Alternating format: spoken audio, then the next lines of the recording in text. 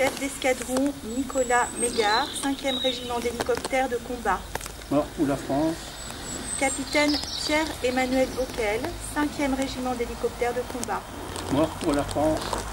Capitaine Alex Maurice, 5e régiment d'hélicoptères de combat. Mort pour la France?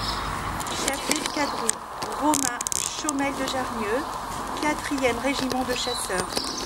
Mort pour la France? Adjudant Alexandre Protin, 4e régiment de chasseurs.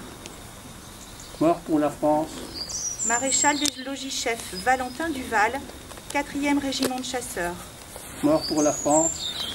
Maréchal des logis-chefs Antoine Serre, 4e régiment de chasseurs.